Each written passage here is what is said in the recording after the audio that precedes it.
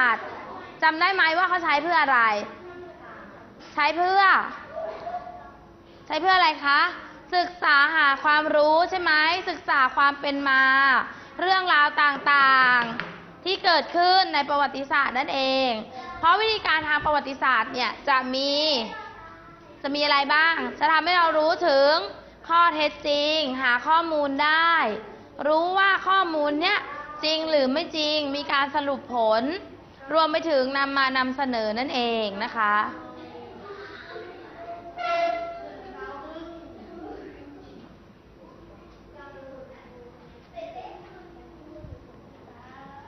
เรียบร้อยหรือยัง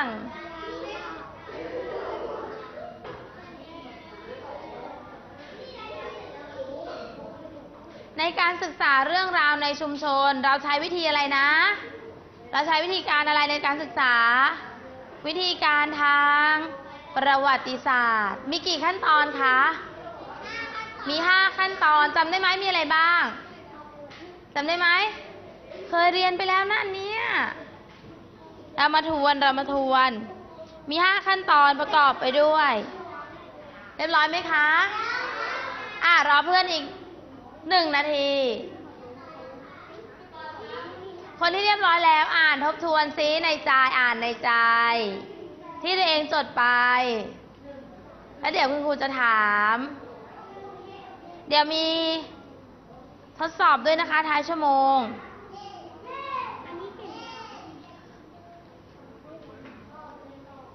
เรียบร้อยหรือยังอ่าเรียบร้อยแล้วมาดูซิว่า ขั้นตอนที่หนึ่งก็ทำอะไรกัน อ้าวอ่านพร้อมกันหนึ่ง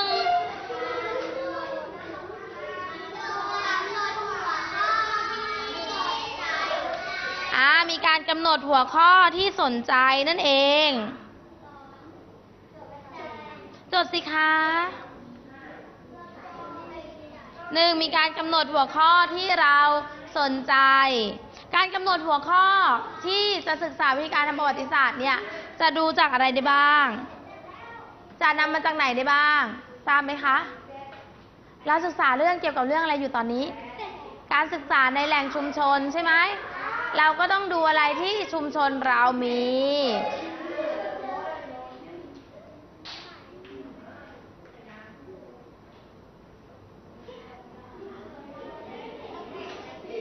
อะไปต่อแล้วนะข้อหนึ่งเรียบร้อยหรือยัง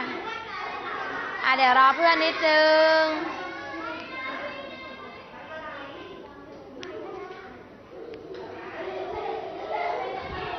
หนึ่งการกำหนดหัวข้อ การที่เราจะกำหนดหัวข้อเราจะต้องรู้ก่อนว่าเราจะศึกษาเกี่ยวกับอะไรใช่ไหมคะ มีตัวอย่างมาให้ดูว่ามีอะไรบ้างที่เราจะนำจะนำมาเป็นหัวข้อในการกำหนดหัวข้อที่จะศึกษาทางประวัติศาสตร์ได้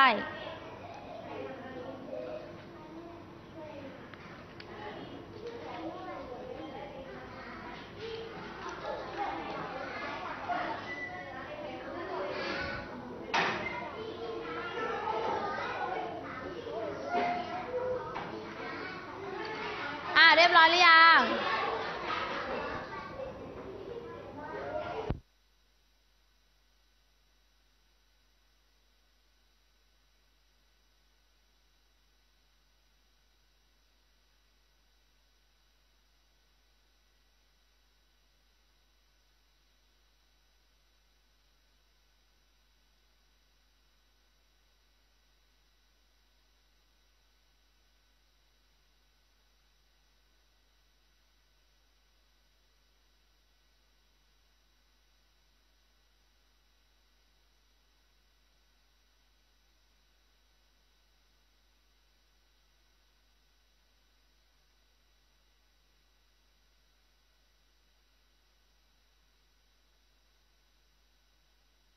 อ่าเรียบร้อยไหมคะกำหนดหัวข้อที่จะสนใจ เอ้ยที่เราสนใจ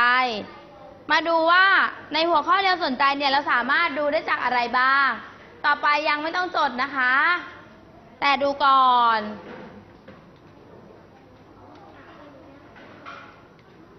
มีทั้งความเก่าแก่ของชุมชน ชุมชนเราเก่าแก่พอไหม ความเก่าแก่หมายถึงอะไร ช่วงเวลาที่ชุมชนเรามี ระยะเวลาอยู่ใช่ไหมคะอ่ามีอยู่นานแล้วมีอยู่ตั้งแต่เมื่อไหร่ แล้วทำไมมีเหตุการณ์อะไรเกิดขึ้นบ้าง ใช่ไหมคะ เมื่ออดีตใช่อ่าดูต่อไปความเก่าแก่มีอะไรอีก มีอะไรอีกอ่าอ่านพร้อมกันมีอะไรอีก ประเพณีพื้นบ้านของชุมชน เช่น บ้านเรามีประเพณีอะไรบ้าง รู้จักไหมในภาพ รู้จักในภาพไหมคะ ในภาพอันนี้ประเพณีอะไร เกี่ยวข้าวใช่ไหม ด้านบนนี้เป็นประเพณีอะไร แข่งเรือยาวด้านล่าง วิ่งอะไร เดี๋ยวเดี๋ยวเดี๋ยวเดี๋ยว ประเทศเรามีวัวกระทิงไหมลูก ไม่ได้มีเยอะขนาดว่าเอามาเป็นวิ่งแข่งได้ อันนี้เขาเรียกวิ่งอะไร วิ่งควาย รู้จักควายไหม อ่าควายเป็นสัตว์ที่บ่งบอกถึงความอดทน ใช่ไหมคะ รู้จักควายปะเนี่ย หรือรู้จักแต่วัว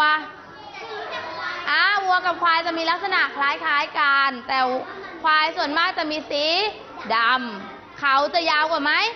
ยาวกว่าอ่าตัวจะสั้นๆอ้วนๆกว่า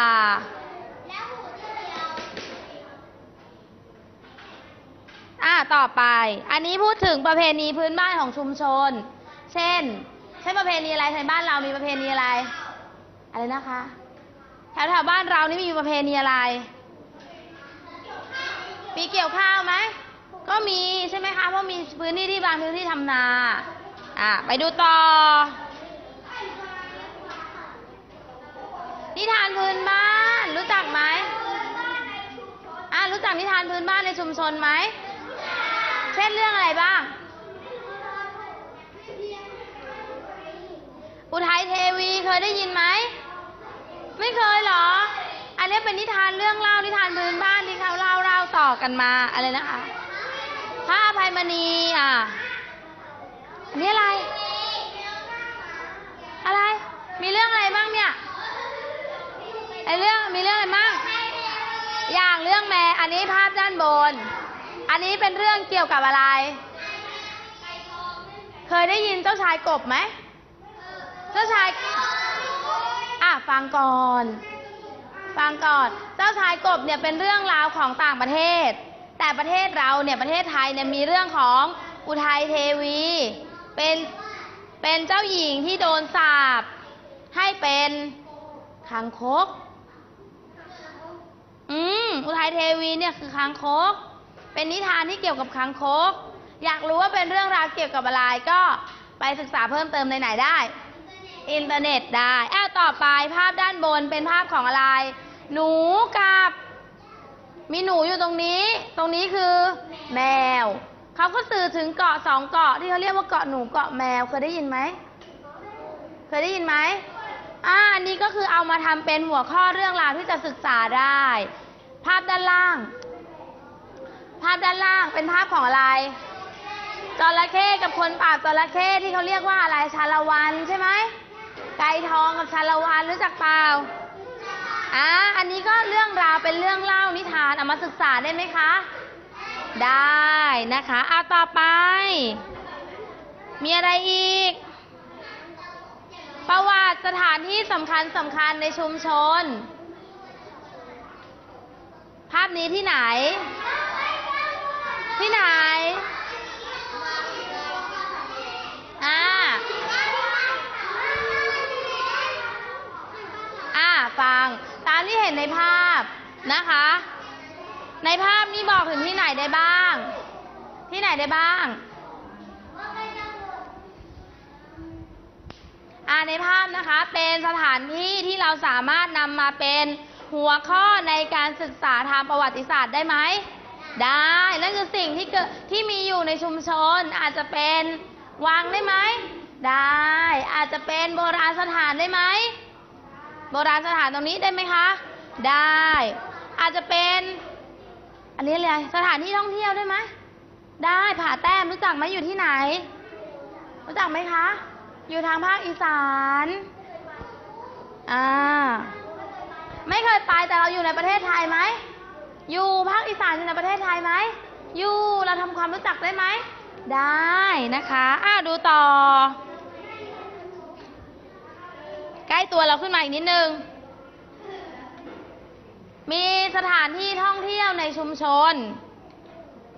อ้าวรู้จักไหมอ้าววัดห้วยมงคล วัดพระแก้ว สุดท้าย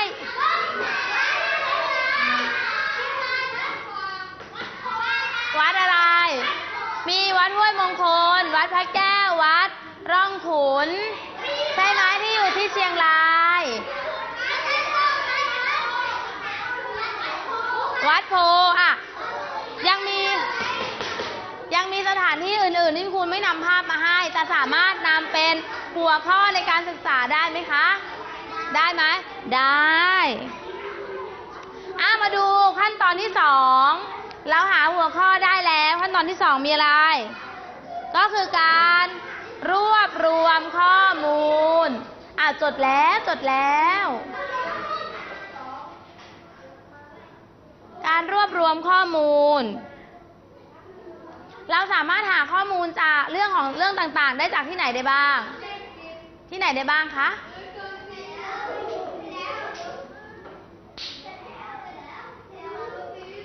อ่าดูต่อ เราหาข้อมูลได้จากที่ไหนได้บ้าง ทราบไหม ที่วัดที่ไหนได้อีก อ่าดูซิว่า วันนี้คุณครูนำอะไรมาให้เราหาข้อมูลได้บ้าง เดี๋ยวรอเพื่อนแป๊บหนึ่ง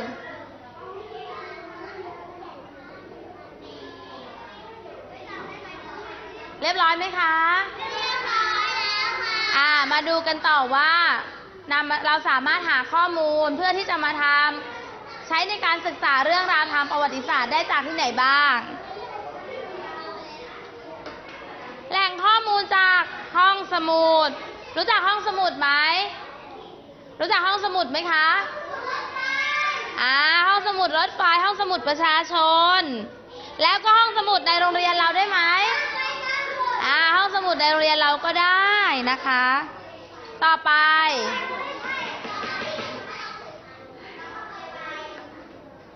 เรียบร้อยหรือยังคะ อันนี้ต้องจดไหม จดไหมคะ ไม่ต้องจด ในหนังสือมีนะอ่าดูต่อ แหล่งข้อมูลที่เราสามารถไปหาข้อมูลได้อีก ได้จากไหน จากการสอบถามผู้รู้ เช่น ที่ไหน ในชุมชนใช่ไหมคะ สมมุติเราจะศึกษาหาความรู้เกี่ยวกับสวนสมุนไพรใน